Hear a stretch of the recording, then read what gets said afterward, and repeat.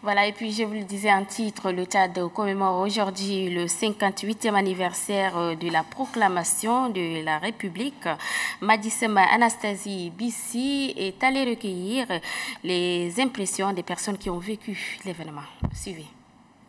Proclamée République le 28 novembre 1958, après le référendum, le Tchad, à l'instar de plusieurs autres colonies françaises d'Afrique, franchit un pas vers son indépendance. Dans la capitale Fort-Lamy, l'ambiance était à la fête ce jour-là. Quand ce jour arrivait, on voyait beaucoup de cavaliers. C'est ce qui a retenu beaucoup mon attention. Beaucoup de cavaliers de toutes les préfectures du Tchad venir. Les cavaliers avec les, les chevaux, avec les chameaux. Et vous avez aussi toutes sortes de tribus qui venaient, ceux qui devaient euh, aussi venir danser, les danses folkloriques. Tout ça, tout ça, c'était plein à craquer. Pour ceux qui résident dans les provinces, cet événement ne leur donne aucun sentiment, car la plupart n'étaient pas sensibilisés et moins informés. Nous autres, ça ne nous a pas du tout marqué. Je semble être au CE1 ou C2. Les concepts de, de politique, tout ça, on ne nous a pas préparé dès l'enfance. Ah, c'est là comme maintenant. J'ai compris ça en 64 à Yaoundé où je voyais le drapeau du Tchad avec le drapeau des autres pays. Ceux qui sont au collège apprennent par le biais de la radio. La proclamation de la République du Tchad le 28 novembre 1958 était faite par les Français pratiquement. Les Tchadiens ont voté comme la plupart des pays francophones pour créer la communauté franco-africaine. En réalité, la France a dit faites ça on fait. Allez on va.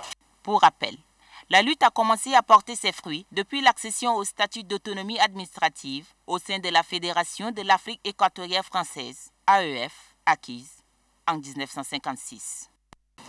La tchadienne, l'hymne national du Tchad est chanté dans les grands événements à l'école ainsi que les grandes écoles. Euh, mais quel est le sens d'un hymne national? Tentative de réponse dans ce reportage signé Adam Abdelkader.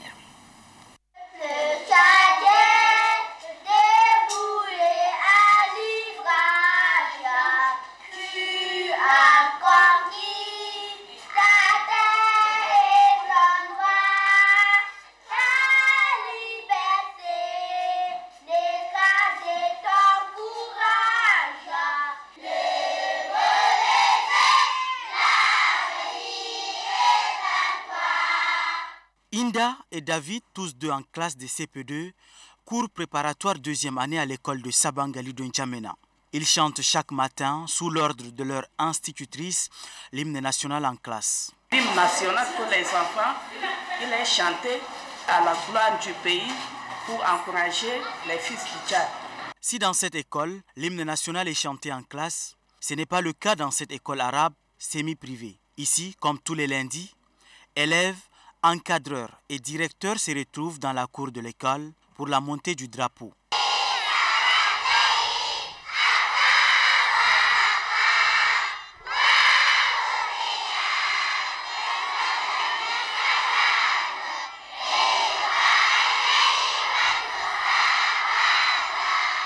Après le salut aux couleurs dans cette école, direction École normale supérieure. Il est un peu plus de 7h30 minutes quand nous arrivons sur les lieux, le drapeau flottait sur le mât. Ici, la montée du drapeau s'est faite une seule fois jusqu'à son usure. Le drapeau est souvent flotte haut dans le ciel. Euh, on le descend euh, que quand il est un peu usé ou quelque chose comme ça.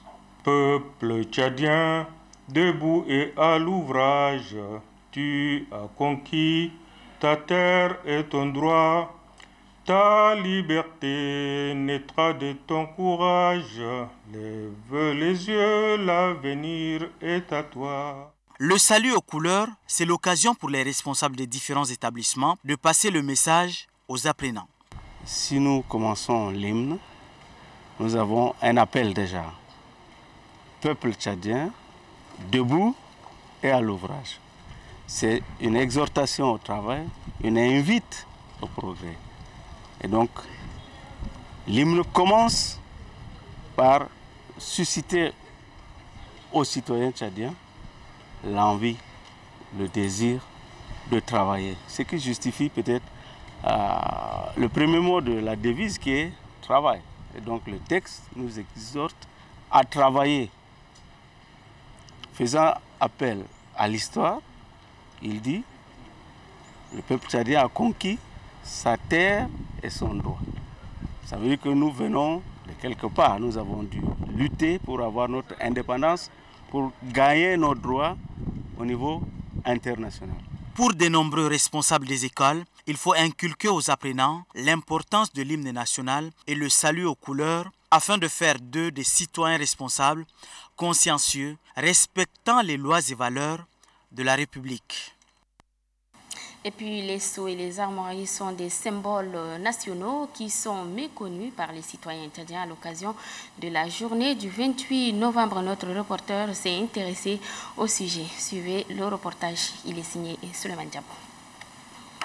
Adoptées en 1970, les actuelles armoiries du Tchad sont représentées par une chèvre de la montagne, d'un lion, des flèches et d'une médaille dont on peut lire sur la bannière la devise de la République du Tchad unité travail progrès. Du coup, on suppose que tout Tchadien, ou du moins la plupart, connaît les trois symboles nationaux.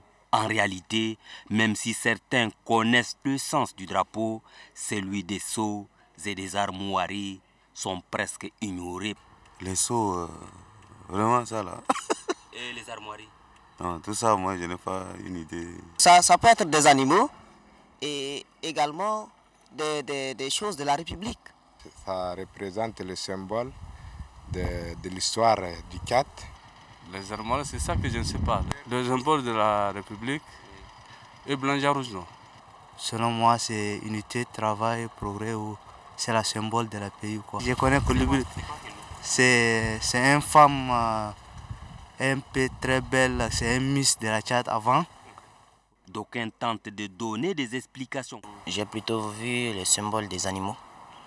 Euh, un tigre et du genre l'autre c'est une c'est pas une chèvre. C'est dans surtout les documents officiels, sur toutes les publications de la République, mais l'explication pour moi est, euh, demeure un secret. Kelou, je pense que c'est c'est pas la femme qui est sur euh, qui représente le, le, Tchad même, je pense. Voyons sur tous les papiers peut-être administratifs, nous voyons le symbole de, l'armoirie. Mais au fait, c'est quoi exactement cet ensemble de signes, devises et ornements de l'écu du Tchad qu'on appelle sceau ou armoirie? Les armoiries euh, sont utilisées dans les documents officiels, notamment les, décrets, les, lois et, même les, les, textes officiels de la République. Tous les documents officiels. Et les sceaux, par contre, c'est euh, on met la tête de quelqu'un dans les cachets, normalement, dans les cachets des administrations publiques. Les seaux et les armoiries doivent être utilisés simultanément, normalement. Les armoiries, faut-il les retenir, sont un ensemble des emblèmes constitués des signes distinctifs et symboliques d'un pays. Voilà, mesdames et messieurs, ainsi s'achève cette grande édition du journal. Merci de l'avoir suivi. Très bon suite des programmes sur Téléchad. À demain, Inch'Allah. Bonsoir.